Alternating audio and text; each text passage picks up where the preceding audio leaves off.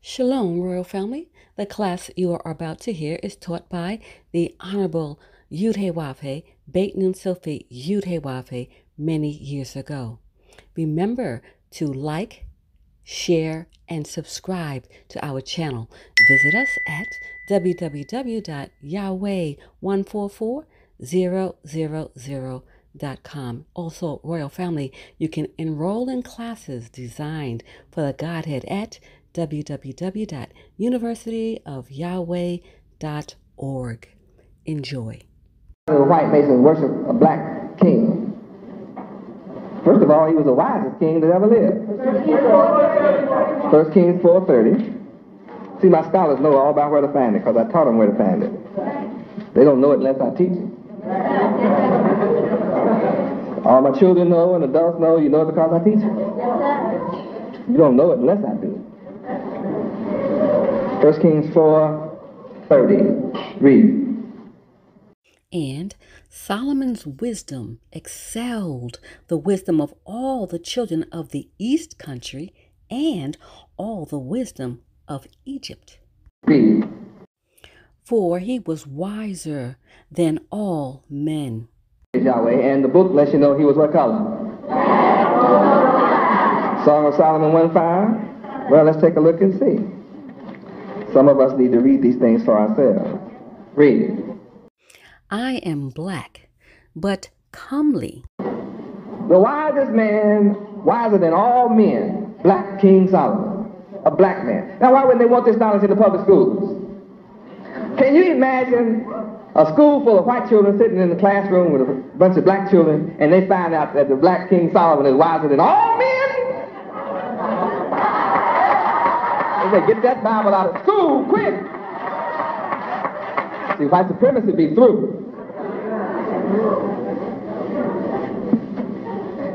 And it hurts when you learn this in secret and can't tell nobody.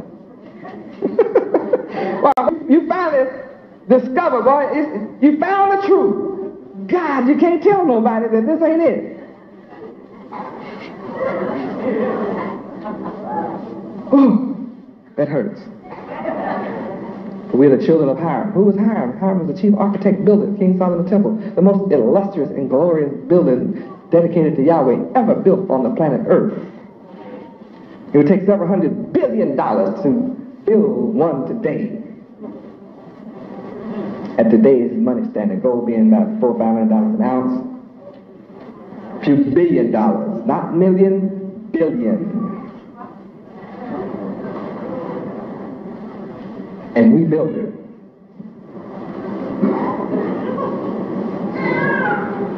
And Hiram was the chief architect.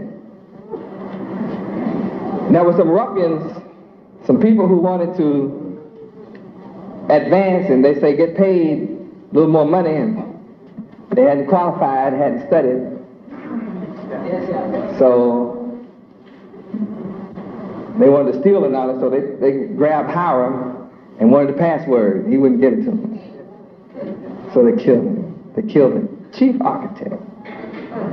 There was one above him, Solomon, but he was chief builder, chief architect. So they killed him. Then they took his body and hid it in the west, in a shallow grave.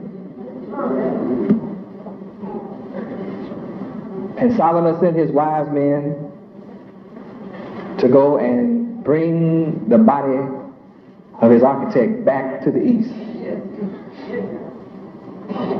And they went and they tried to raise Hiram, but every time they would reach down to raise his body up, his flesh would fall away from their hands, and bones, and they'd fall back into the grave.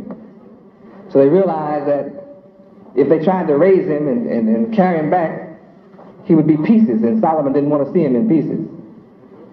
So they knew they had to go back and find someone that had knowledge of how to raise this man up out of his shallow grave to take him back to the east. But he was dead, hit in the head.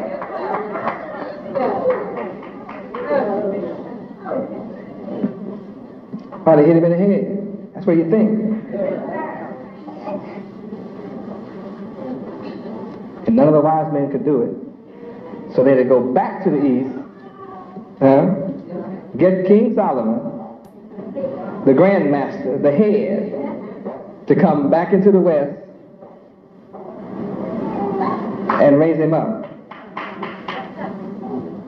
And since he was a king of Judah, the lion,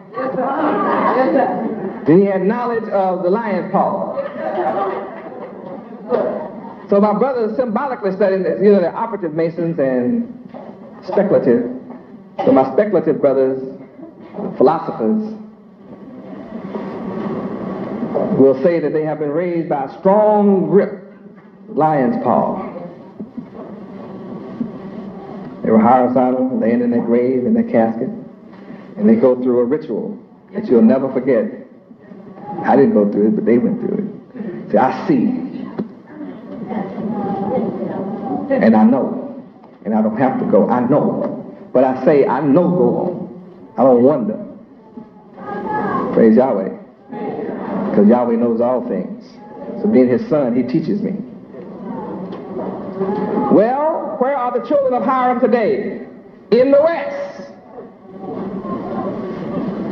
See, there's a certain there's a certain stone that's called a cornerstone that the builders of civilizations have rejected. So when you, you try to build a building without a cornerstone to lay one, the building won't be right. It can't it'll be crooked, out of shape, it won't stand. So America can't stand because, and the world, civilization and governments can't stand because they have tried to build a civilization without the chief cornerstone. When you look at the pyramids that's on your dollar bill and or you see that the cap, the cap at the top of the pyramid is missing. So on your dollar bill, you see it's separated from the pyramid and there's an all-seeing eye, there's an eye there. And in, in, in all Masonic temples, white temples, there's a U in that triangle sitting in that temple. Sitting, sitting in these. It's there.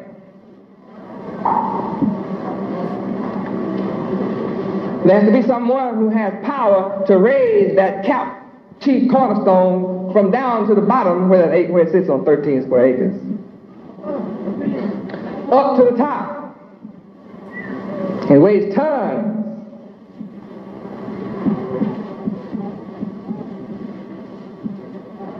So there's somebody that's a chief cornerstone, and that's you. But I'm the only one who can raise you and place you at the apex of the pyramid. In the meantime, you're laying here in the West, dead, mentally dead, symbolically Hiram's children. And many leaders have come and have tried to raise you up. Marcus Garvey tried it, Elijah Muhammad tried it, a lot of people tried it, but they couldn't do it because they were not the one. You made a lot of publicity, but you didn't make it. You were not the one. They were not the ones. So you, they, they got you raised up a little bit, but your bones and everything fell back into the grave. Why did it fall back? Because they didn't have the master's grip. You can't raise us up under another religion.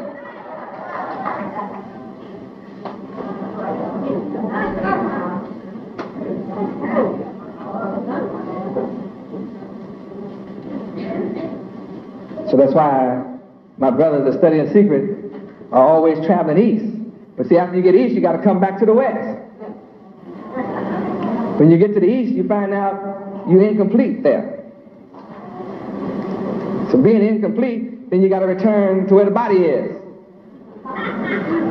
You find out that everything you're looking for is here. See, all the leaders, they went to Africa, they went to they went all those places, and then they come running back, come out. It's in America.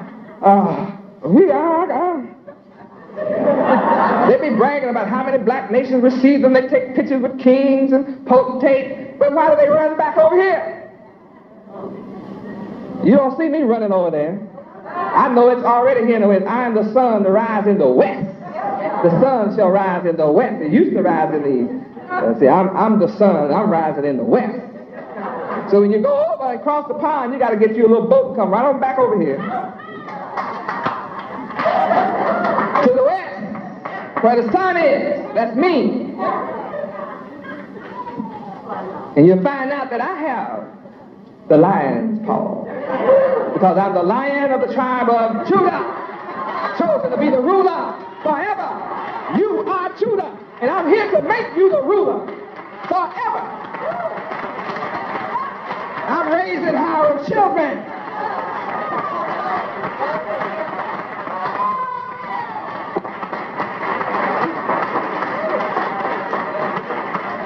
Hallelujah. It's easy to recognize who I am because no one can teach like I teach.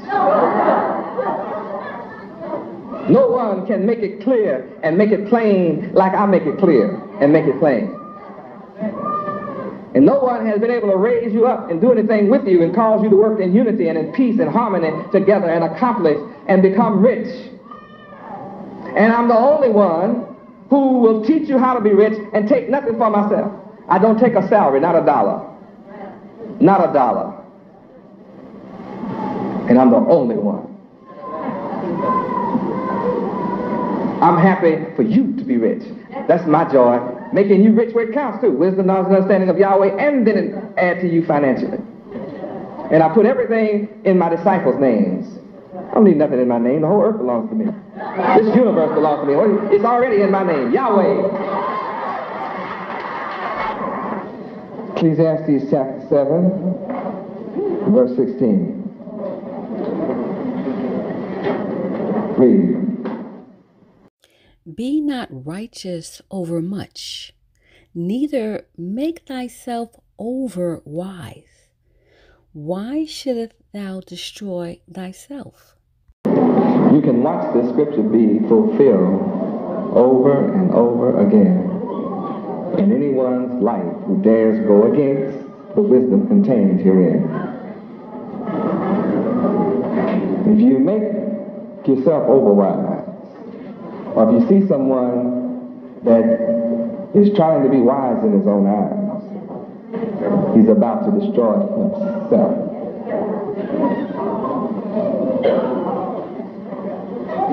Verse 17, read. Be not over much wicked, neither be thou foolish. Why shouldst thou die before thy time? Remember this night and remember these scriptures. I repeat, anyone who does not obey these injunctions will suffer the fate of the word of Yahweh. Verse 18, read. It is good that thou shouldest take hold of this. Yea, also from this withdraw not thine hand, for he that feareth God Yahweh shall come forth of them all. This is true.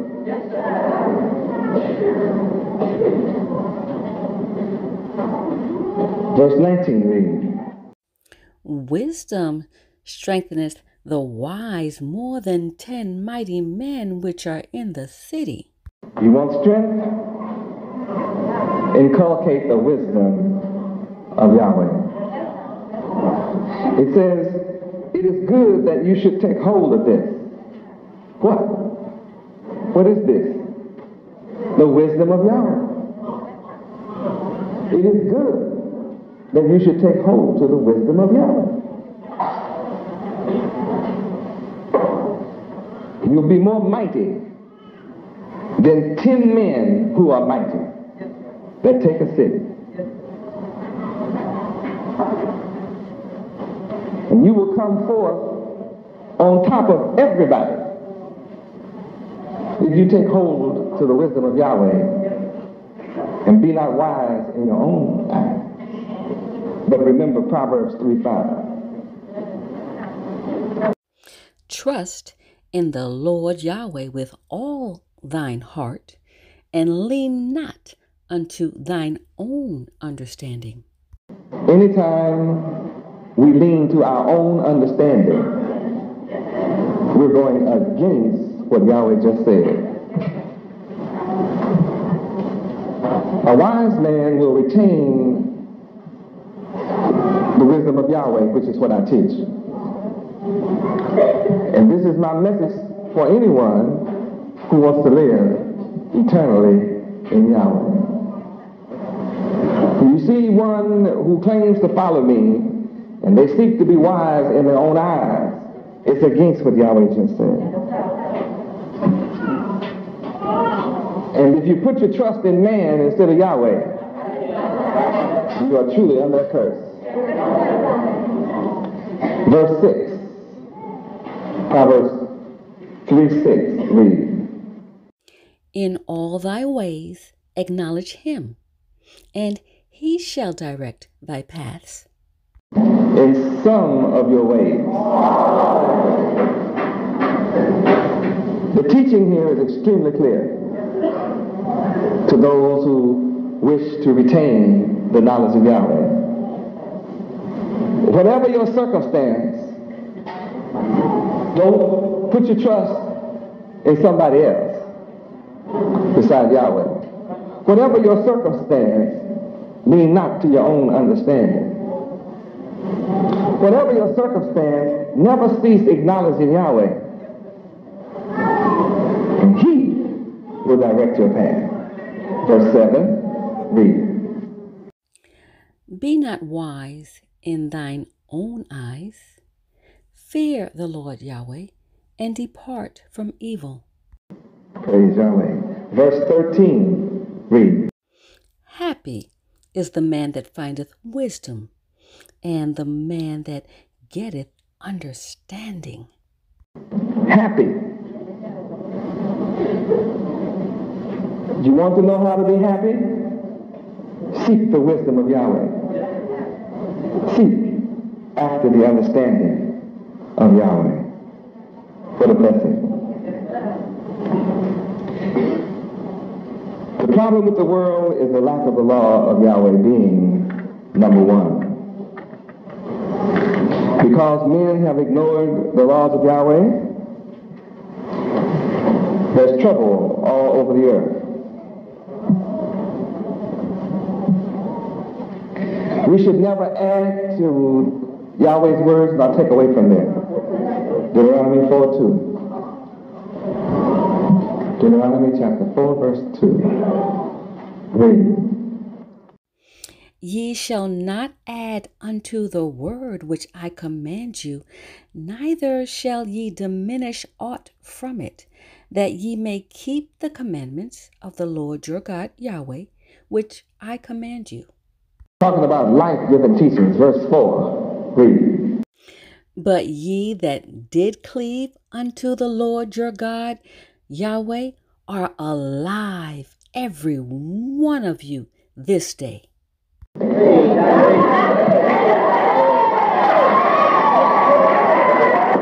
my book tells me cleave means to what? Follow in obedience.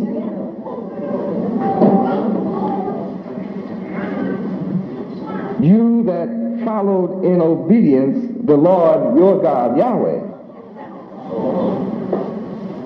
are here today. You were alive then and you are alive now. That's the reason that you are alive now. Because you did then. You may say, well, seems like wicked people are here too. Yes. Those that were wicked yesterday are here today too. But I want to drop two things on you. First, when you face a difficult circumstance, you have to realize that there are trials and tribulations that you must face that will determine the outcome of Judgment Day.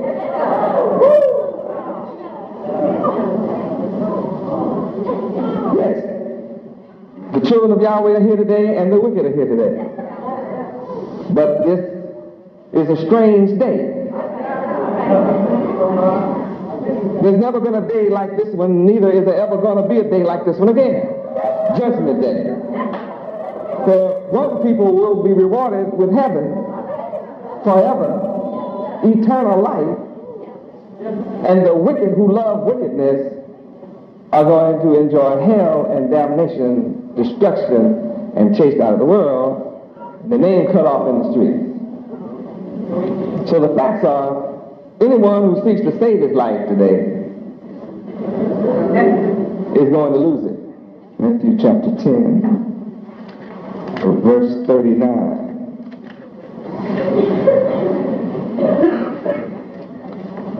Anytime you come upon a difficult circumstance and you lean to your own understanding, be wise in your own eyes, and trust to find a solution to your life and seek to find it, then you're going to have to beat this scripture to prove that you God over this word. And I have to see it to believe that you can prove this wrong. Read. He that findeth his life shall lose it, and he that loseth his life for my sake shall find it.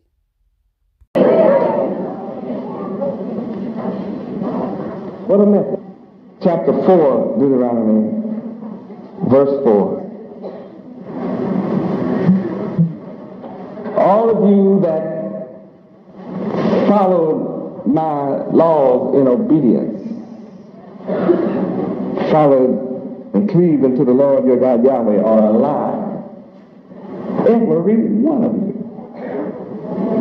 This day.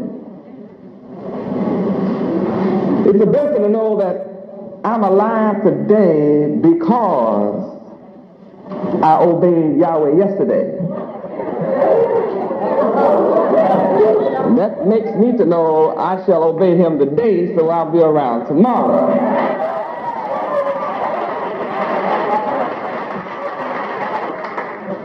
The fact that I obeyed Yahweh a few thousand years ago and I'm alive today tells me about eternal life. And I don't want mine cut off.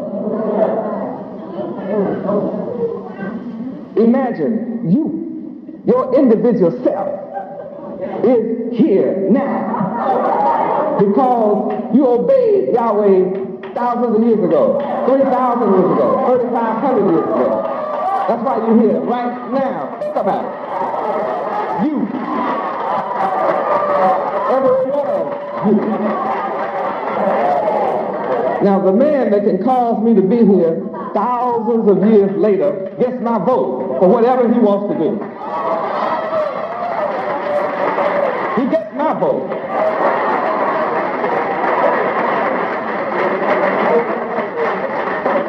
I'm glad I don't have to register at the polls for this. I'm glad I don't have to pass a literacy test for this blessing. Now, we're going to look into what is it that made this possible. Verse 5, Deuteronomy chapter 4, verse 5. Behold, I have taught you statutes taught you judgments. Even as the Lord my God, Yahweh, commanded me. That's what I'm doing. I'm doing what Yahweh commanded me. You must admit that I have been teaching you Yahweh statutes. Not almost teaching, but teaching Yahweh statutes. And you must admit, though it's unpopular in the world today, I have been teaching you Yahweh's judgments. Just as he has written it, just as you are reading it, this has always been my style. to teach you that which Yahweh commanded, and you have it written in your books. And what I'm reading and teaching you was in your grandmother's books.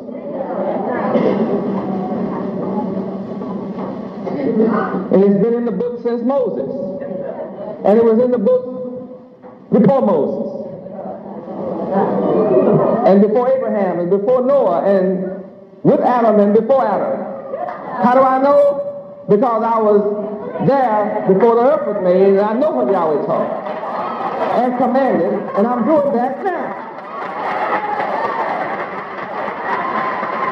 Praise Yahweh. And you that are sitting here under the sound of my voice with books open are reading exactly what I'm saying. You can read it with me or you can listen to me read it.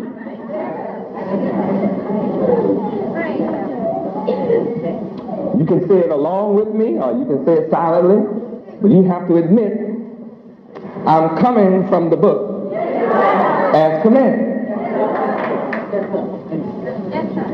And I'm telling you that in whatever land you go,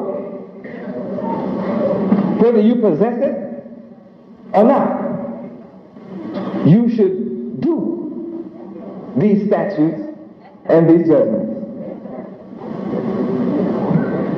Though we were brought to America as slaves from the west coast of Africa, though the knowledge of Yahweh was taken from us, and he could not keep his statutes and judgments for 400 long years, yet you have no excuse tonight because I, the resurrection, am resurrecting you into the knowledge and the requirements of Yahweh's statutes and judgments, which will keep you here forever.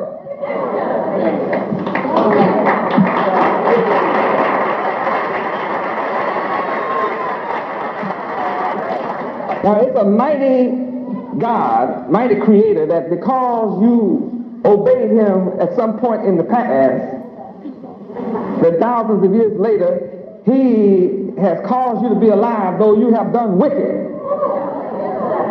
Your mother and father have done wicked. Though you have gone against him and have not kept them, yet he has preserved you but I'm here to warn you that he's not going to preserve you forever unless you turn back to him and start observing and keeping his laws and his decrees. Yahweh's laws does not change unless you can change the law of gravity.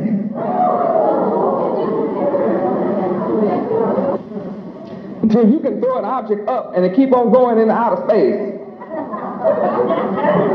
then you better know Yahweh's laws don't change.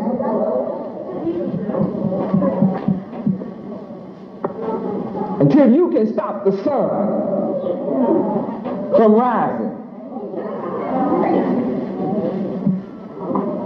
or shining on all parts of the earth every 24 hours. Until you can stop the earth from spinning in its own axis 1,037 and a third mile per hour, you had better know that you can't change Yahweh's mind, and he said he has not changed his mind. So his laws, statutes, judgments, and commandments remain in vogue. They remain in effect. And if you want to continue to live, you are going to have to disobey the enemies of Yahweh who teach you not to keep his law and return to keeping his will.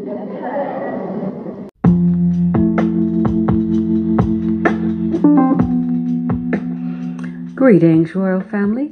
Let's talk about the most prestigious private university in the universe, the University of Yahweh. It is here where students, parents, adults, and teachers study the divine mind of Yahweh Ben Yahweh, thus elevating them to contemplate and understand the loftier concepts and principles, enabling their minds to focus and think on an extraterrestrial level.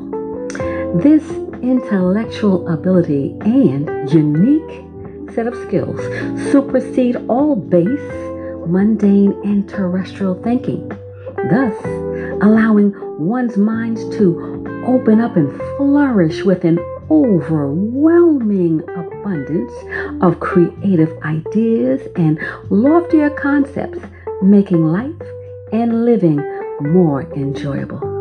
The University of Yahweh is woven deep within the fabric of the moral principles of truth, honesty, integrity, true holiness, righteousness, ethics, and justice for all. The University of Yahweh is designed for the Godhead, and this includes students, parents, adults, and the Godhead.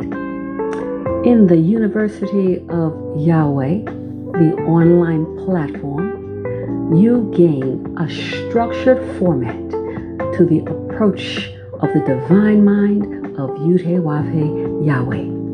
We welcome you to visit our website at www.universityofyahweh.org. This platform is specifically designed for the Godhead and the Godhead family. The 144,000 chosen to rule in righteousness. We look forward to working with you as we prepare for rulership in righteousness. Praise Yudhe Wavhe, praise Yudhe Wavhe, Beit Nun Sophie Yudhe Wavhe. Shalom, Royal Family.